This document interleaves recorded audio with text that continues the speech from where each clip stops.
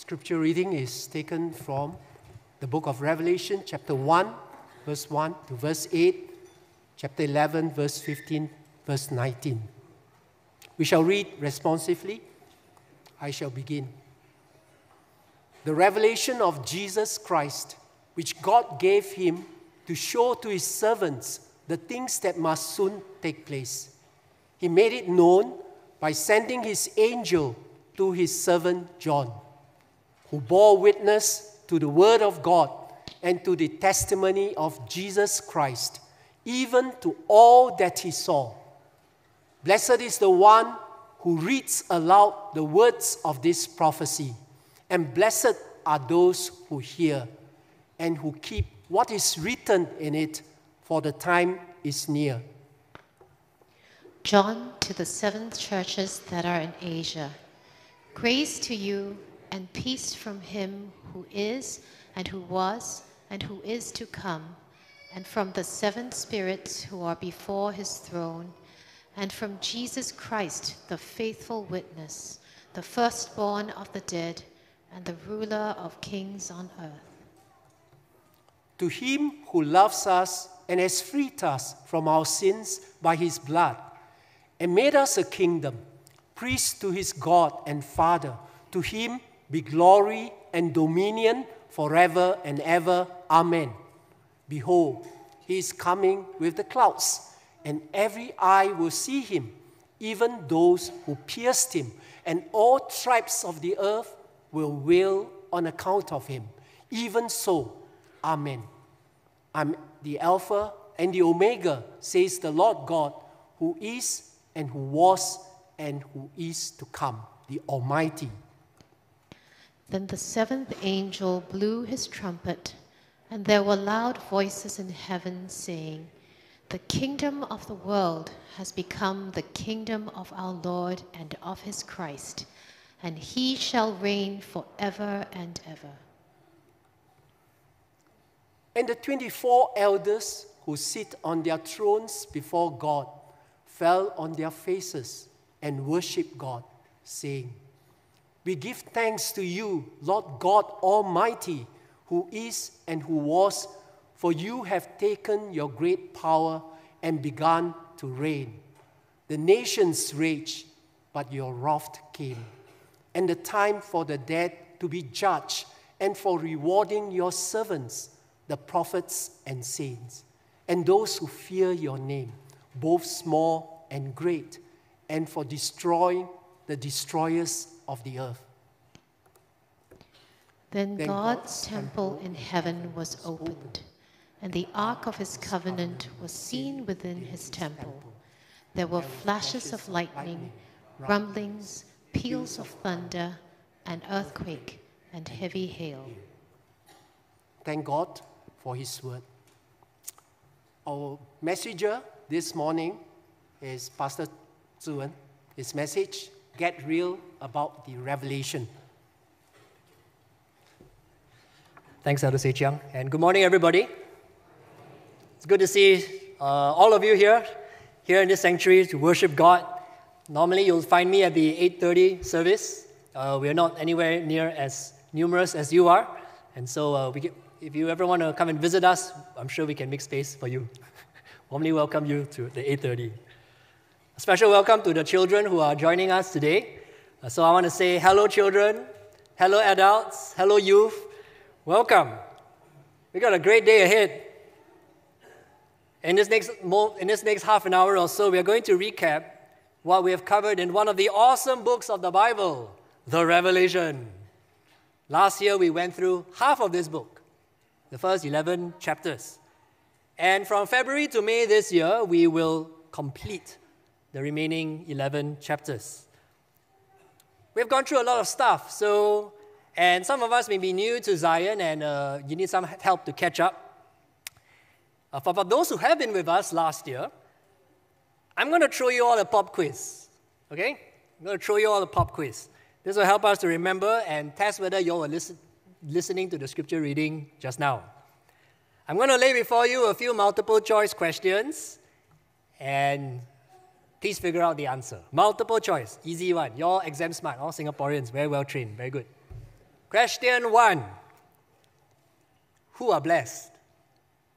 A. Those who read aloud the revelation. B. Those who hear the revelation. C. Those who keep or obey the revelation. And D. Those who memorize the revelation. What's the answer? Uh, mm, I hear some answers here and there. Okay, if you, uh, if you read, read uh, if you remember what was read just now, verse 3, then A, B, and C would naturally come to your mind as the answer, and I cannot disagree with you on that. Uh, D, those who memorize the revelation, I say doubly blessed. Well done. well done. Keep it up. Keep it up. okay, next question. Next question. Are you ready? Sort the following in order of appearance. Getting a bit harder, huh? A, seven bowls. B, seven churches. C, seven seals. Seals? Ooh, ooh, seals? No, no, no, seals. Different, huh? D, seven trumpets. What's the answer? it's not a multiple choice question technically. This is a sort, sorting question. B? No, no, no. It must be a sequence of four letters. So I think if I got my, my Bible knowledge correct, uh, seven churches first, then seven seals, so B, C, then seven trumpets, D, and then what's this seven bowls? Seven bowls come from where one? I don't remember. Yes, it comes in the second half of the book. Very good. So that comes last. A. Okay? Very good, very good. Okay, third question. Are you ready? Which of these song lyrics come from the Revelation? A. Forever you will be the Lamb upon the throne. Anyone agrees? Okay. B. Salvation belongs to our God. You sang that before growing up? Some of you did. C. I did it my way. You know, you know, you don't know, you don't know. D. You belong with me. Uh, how many of you know this song, You Belong With Me? Wow, we don't have Swifties here. This is a Taylor Swift song, just in case you were wondering, okay? A very famous Swift, Taylor Swift song. Come on. and E, He's the Alpha and Omega, the beginning and the end. He is with me, He is for me, He is ever my friend. I sang that song growing up, and we read that just now. So A, B, and E, okay? Well, I'm spending quite a bit of time soaking in the book of the Revelation, and I gotta tell you, I've been so richly blessed. And I hope you will share in that blessing too. And my recommendation to you is to take up this homework challenge. Go and read chapters 1 to 11, once through on your own. And then they'll help you to be more ready for the second half of the book. I got one final question. One final question for you all. Are you ready? Question four Faithful followers of Jesus will A. Live, or B. Die.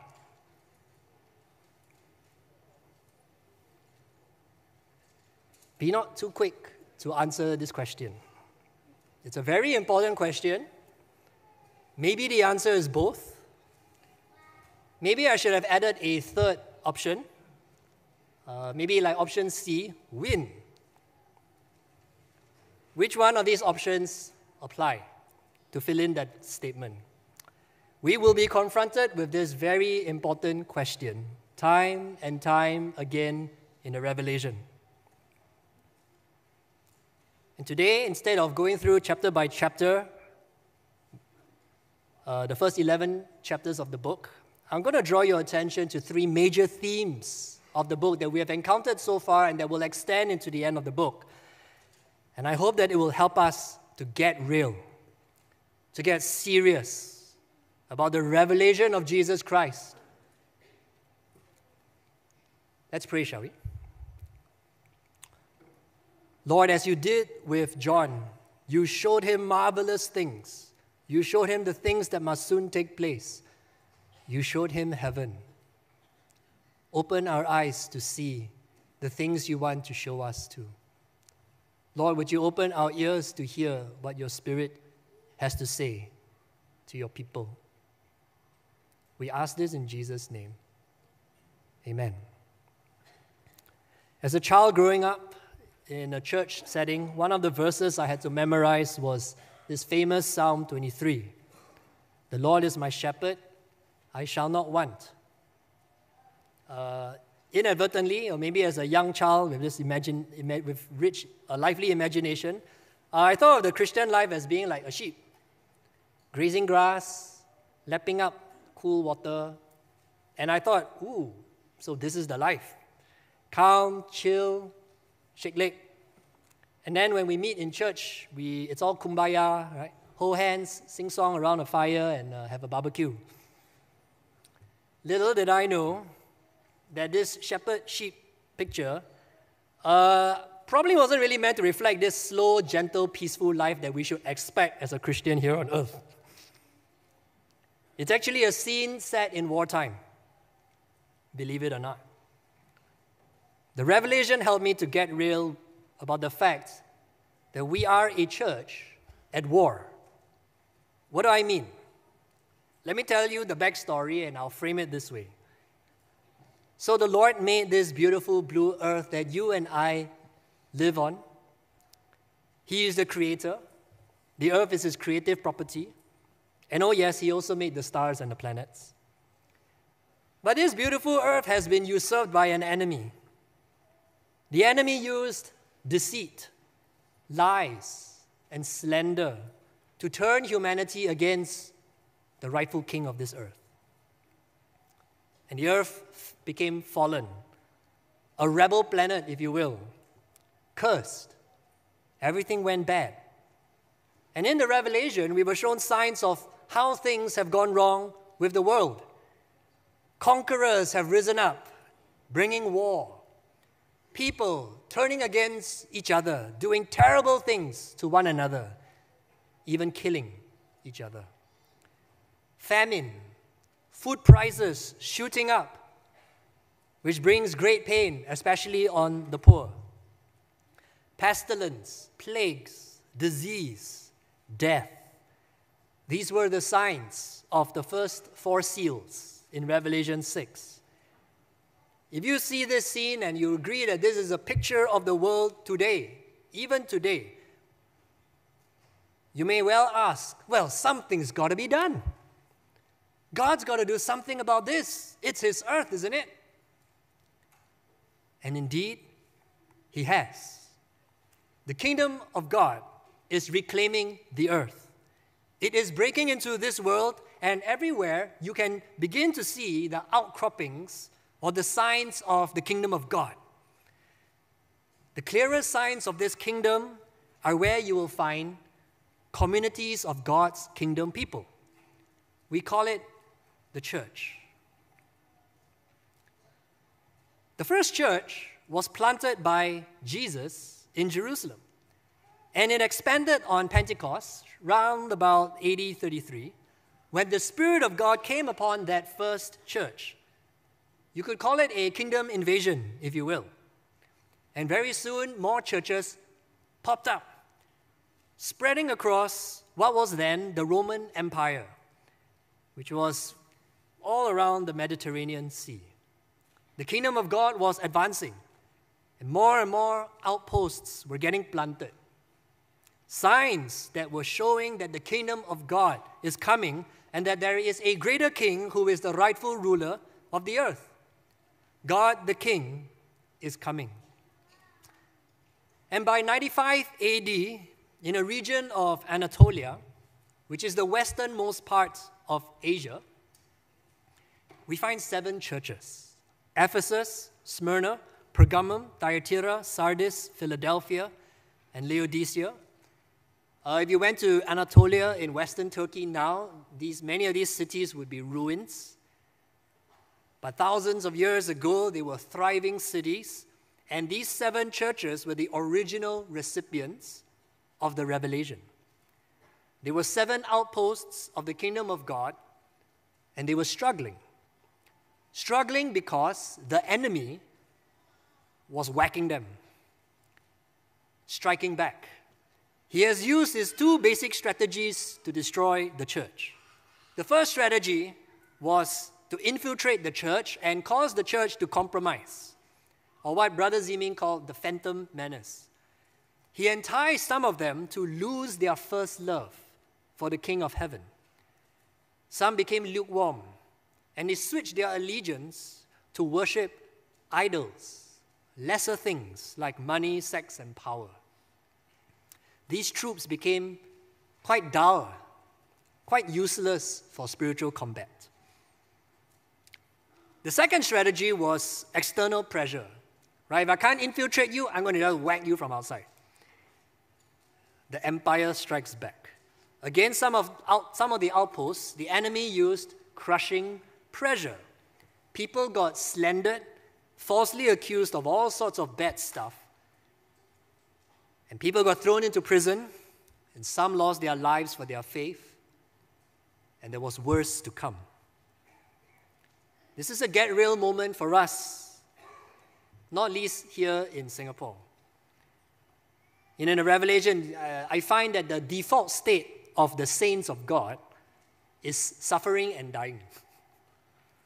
In the vision of the fifth seal, we find the souls of the saints who have died because of their testimony.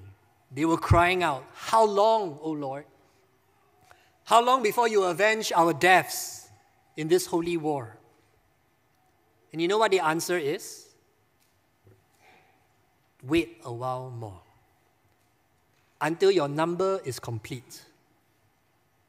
These were God's faithful ones who were holding fast and struggling in the holy war, and they lost their lives for it. And they were told to wait some more.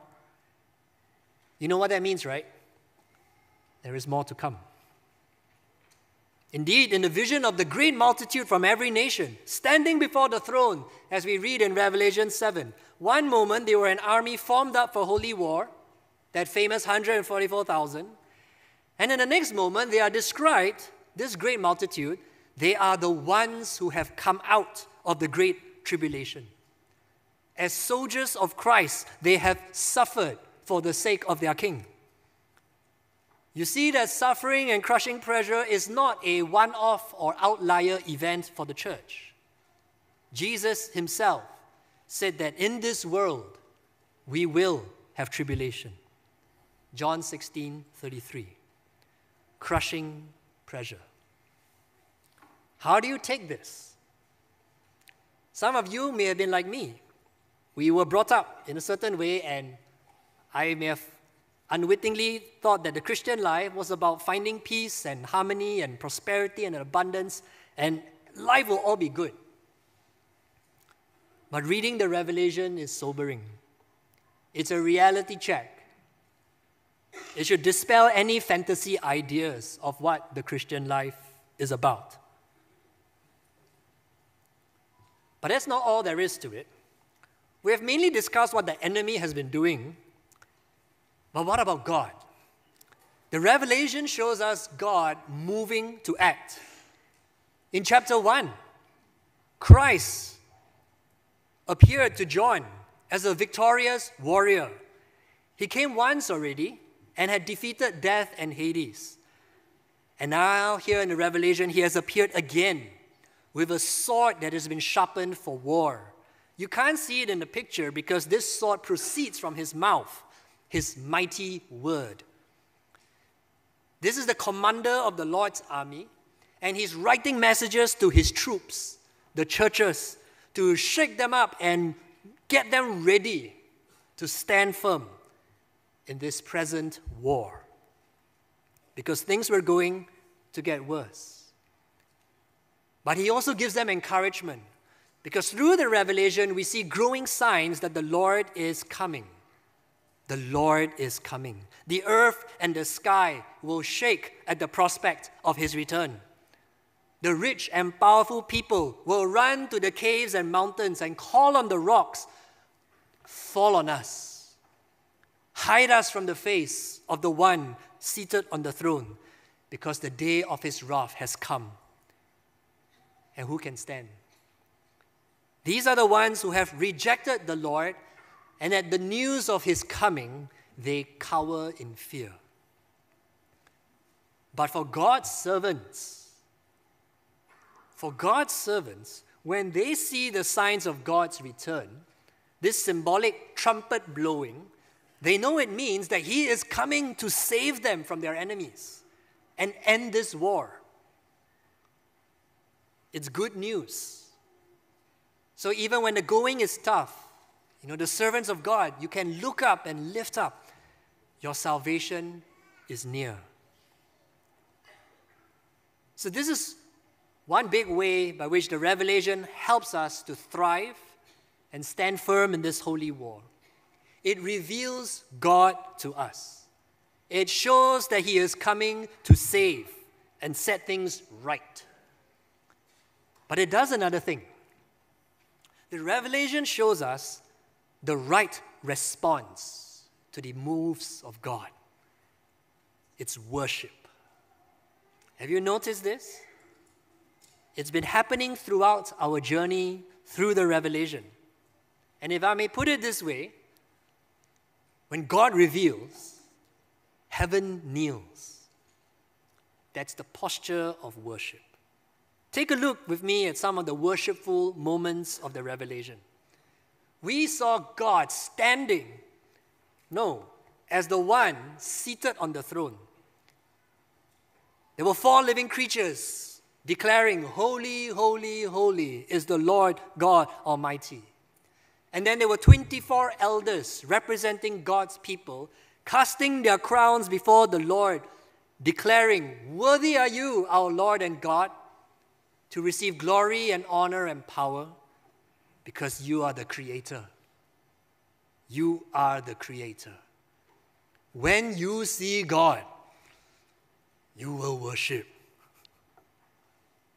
And then we saw Christ, the Lamb who was slain, also revealed. You remember that glorious scene? There was this great search for someone who would be worthy enough to take this scroll from God's hand and to open it. This scroll would reveal and unfold God's plan to redeem the world and establish his kingdom on the earth. And only one person was found worthy to take the scroll and to open it the Lamb who was slain. And we see that in this holy war, the decisive fight has already been fought and won on the cross by the Lamb who was slain. And that has made him worthy. In fact, worthy on the same level as God the Father. The living creatures, the 24 elders, and every creature of the earth worship, saying, To him who sits on the throne and to the Lamb be blessing and honor and glory and might forever and ever. And the creatures say, Amen. And the elders fall down and worship. When God reveals, heaven kneels. Oh, and we're not done yet. God reveals also the whole church gathered before the throne. This great gathering of the saved from every nation, tribe, people, and language. You could say this is like the completed church. And what are they doing? They are declaring that salvation belongs to our God who sits on the throne and to the Lamb.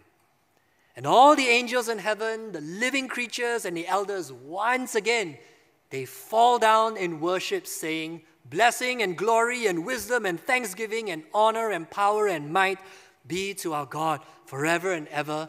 Amen.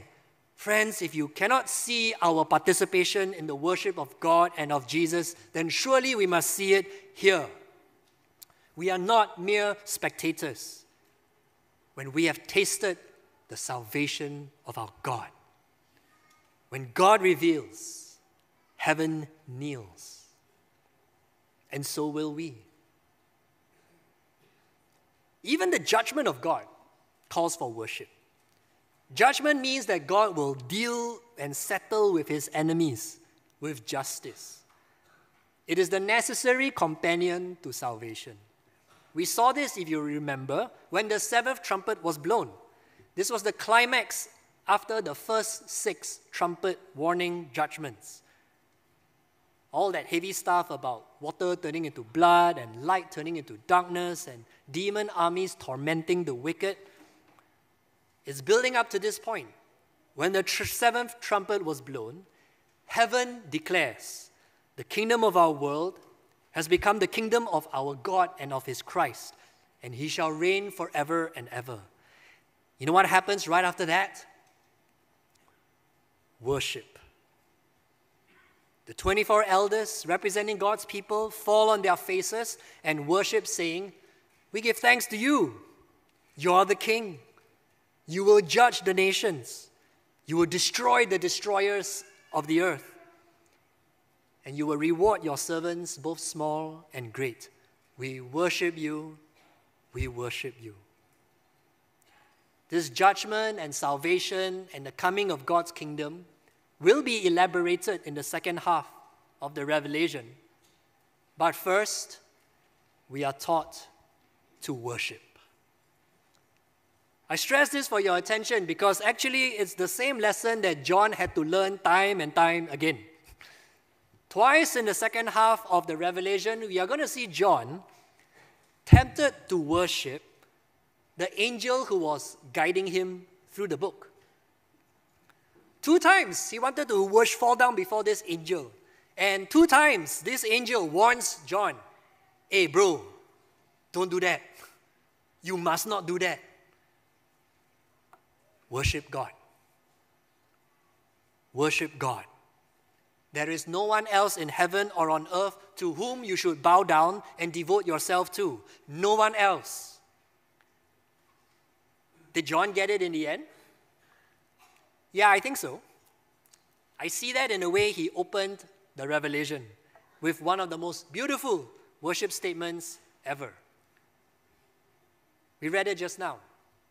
To him who loves us and has freed us from our sins by his blood and made us a kingdom, priest to his God and Father, to him be glory and dominion forever and ever. And all God's people say, Amen. So many songs and scenes of worship. I think the Revelation is like the New Testament songbook for the church. If you want to sing like heaven, learn it from the Revelation. If you want to see the songs that the church will sing in a time of trials and tribulations, you will find them here. And you see why this is relevant for holy war. At the heart of the war is what sometimes we call a battle for the hearts and minds of the people. And there's the one question that each one of us will be confronted with. And the simple question is this Is he worthy? Is he worthy or not? Who is the one who is worthy to be Lord of heaven and earth? The enemy will have us think that God isn't, that nobody worships God. He's not in charge, lah. He's not worthy. See, he let all these terrible things happen to you. Most people, anyway, are just worshiping their own thing, right?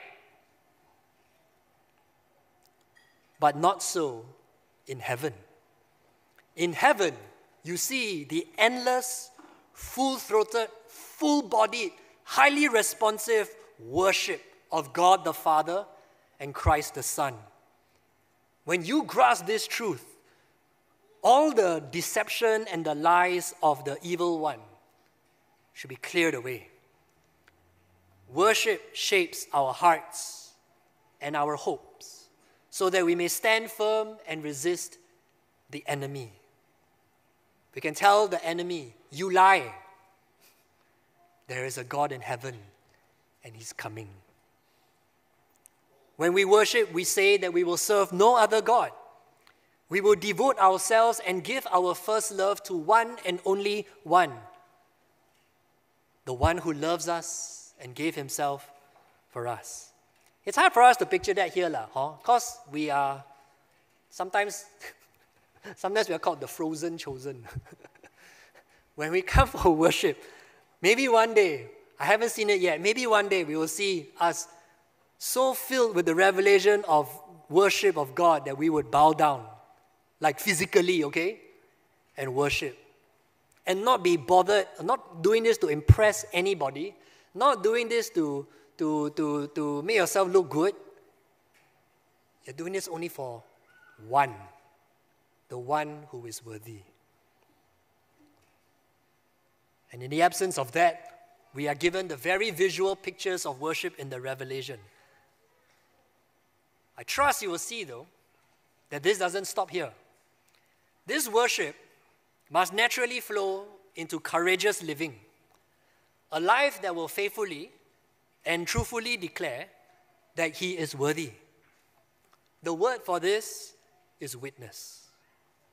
The revelation shows us that God is moving to save His people judge the world, and establish his kingdom on earth. When we see this, it should move us to worship. But it is also a message that we are to declare and bear witness to. John himself had to declare it. You remember that curious incident of the little scroll in Revelation 10?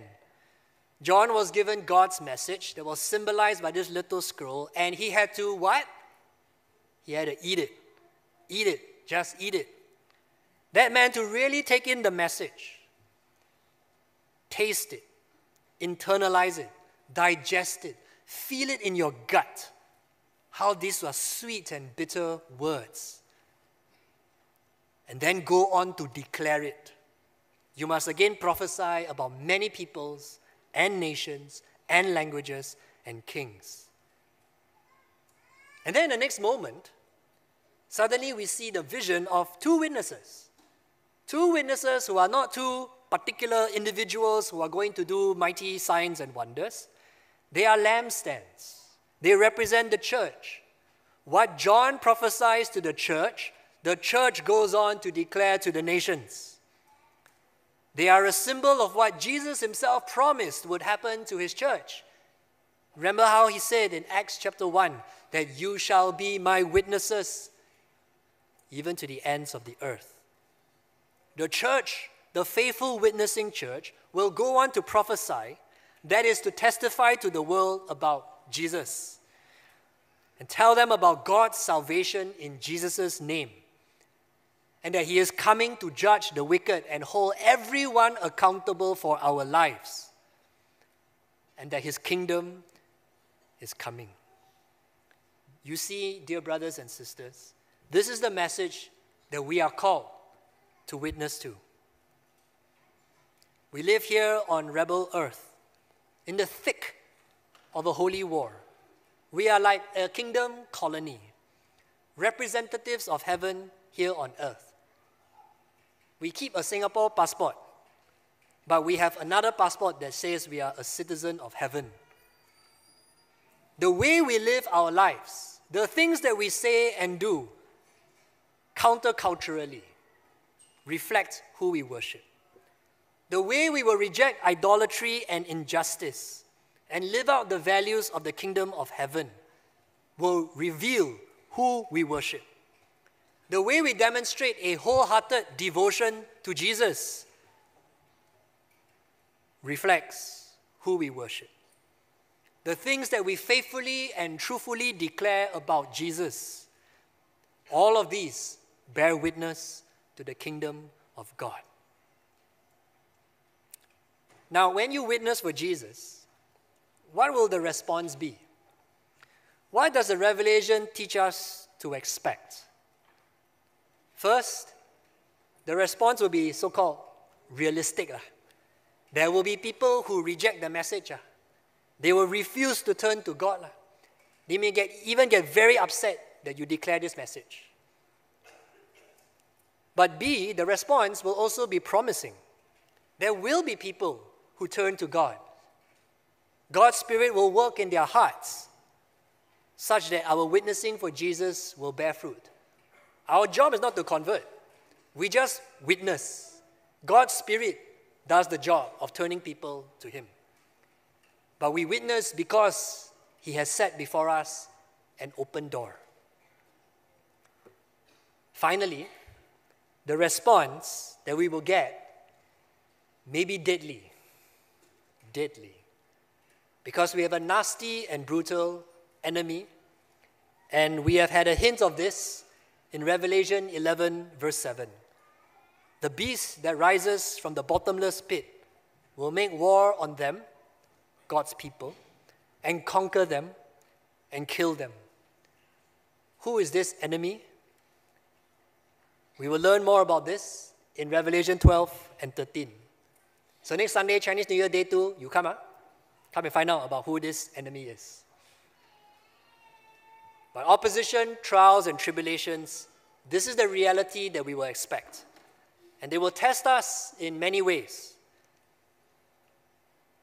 Our faith in God will be tested. Do you believe that even if we were to die, we will win in the end? Do you believe that even when it looks like the enemy can attack us and conquer us and even kill us, the church will still advance and fulfill its God given mission? God says, yes. And maybe you're wondering, uh, how do we win when we die? Is this just something that we will celebrate in heaven but not on earth? The answer for that, I think, will come in Revelation chapter 20. So stay tuned. For now, know that trials and tribulations will test our devotion and faith in the Lord. Do you follow Jesus only when times are easy or also when times are hard? In fact, the revelation may make it seem like there is only one way. That to be faithful to Christ will require us to be ready to die for his sake. We will have much time, I think we will need much time to chew on this very serious discipleship matter. It will be the words of the bulletin masthead throughout this period. It is the words of Revelation 12, verse 11, that they have conquered the dragon by the blood of the Lamb and by the word of their testimony, for they loved not their lives even unto death. I will leave this at that for now. Now, as sobering as all this sounds, it will not be right of me to leave you hanging on this note. There are good things. There are very good things that we have seen in the Revelation so far and that we can look forward to in the second half of the Revelation. Season 2 will tell us how the war will end. Let me share with you three simple things as a taster God will bring judgment on all his enemies. And that means also our enemies, the evil kingdoms of this world, wicked, unrepentant humanity, the evil systems of this world, the devil, and finally, death will be destroyed. And we will witness heaven rejoice and shout hallelujah at these judgments, you know. And so should we. Second, we will see God coming to rescue his church and bring us into his glorious and beautiful future. We will be the bride of Christ and celebrate a wonderful wedding feast. It was what, it's what every Christian wedding points to. And we will be rewarded for our faithful witness, and we will reign with Christ on the earth and we will be deeply comforted by the very presence of our God who will dwell with us. And finally, I think this is where that picture of little lambs lying by green grass and drinking water, I think this is where it will happen. I'm looking forward to it. Finally, finally, we will see that God will make all things new. He will create a new heavens and a new earth. He's not replacing planet Earth with a different planet, but it will be heaven come down to earth. He will create a new city, and it will be like a new Garden of Eden. And that would mean that every problem that we have seen from since the beginning of the Bible will be solved it is the perfect conclusion to all Scripture. The war will be over. And when we get to the end of the book, you and I must be filled with this deep, deep longing for Jesus to come back. we must ache with John this heartfelt prayer Come, Lord Jesus. Come back soon. I cannot wait. I end with this verse. In Revelation 21, verse 5, it says, And he who was seated on the throne said, Behold, I am making all things new. Also, he said, Write this down, for these words are trustworthy and true. Do you believe this? Do you believe this? Then go and declare it as his witness to the world. Let's pray. I invite the music team to come up. They are going to be leading us into in a very appropriate song called Witness. And the basis for this witness is because the Lamb who was slain, the one who is seated on the throne, is worthy. Oh Lord, our Heavenly Father, we pray once again, open our eyes to see you more and more for who you truly are. Help us grasp more and more the wonderful plans that you have for our lives and even for this whole world. And stir it up in our hearts to worship you because you are worthy. You are worthy to be witness to to this whole world. In Jesus' name we pray. Amen.